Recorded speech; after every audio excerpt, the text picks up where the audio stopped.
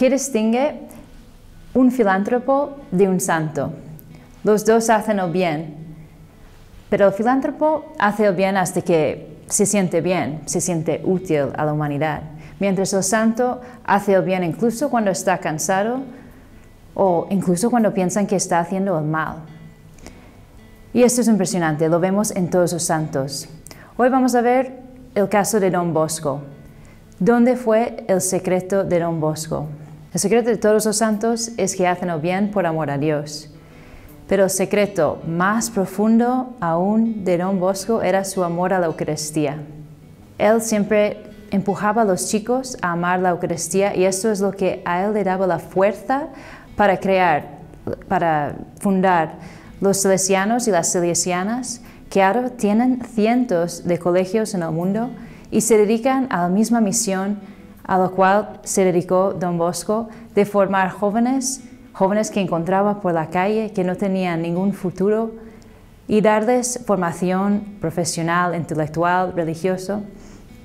Pero todo fue gracias a la Eucaristía, este amor que dice un biógrafo que cuando Don Bosco predicaba sobre la Eucaristía, a veces se echaba a llorar y hacía llorar a los presentes del amor con que predicaba de la Eucaristía el amor de Jesús por las almas. Y él decía a veces a los chicos, incluso en tiempos de recreo, ¿queremos estar tristes o contentos? Pues si queremos estar contentos, amemos más a Jesús sacramentado.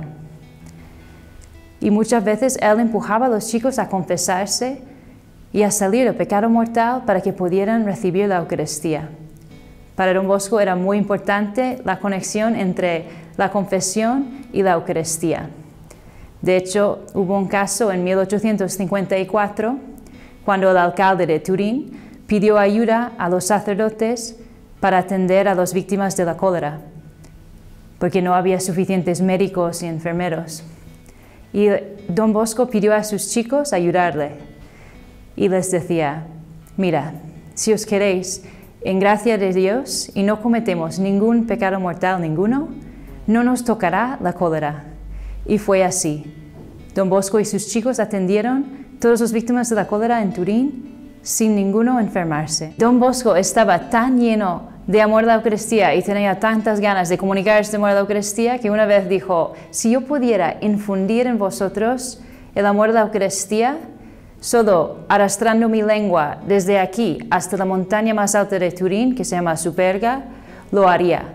Parece un disparate, pero lo haría porque conseguiría santos jóvenes. También decía Don Bosco a los jóvenes, no hay nada que el demonio tema más que estas dos cosas. Una comunión bien hecha y visitas al Santísimo Sacramento. Decía, si queréis superar al demonio y las tentaciones, tenéis que visitar Jesús muchas veces en el Santísimo Sacramento.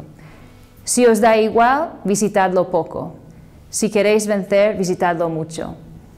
Y estas son las sugerencias que don Bosco nos deja hasta hoy y seguro que haciendo lo que él decía en 1854, podemos vivir bien lo que tenemos que vivir hoy en nuestro tiempo.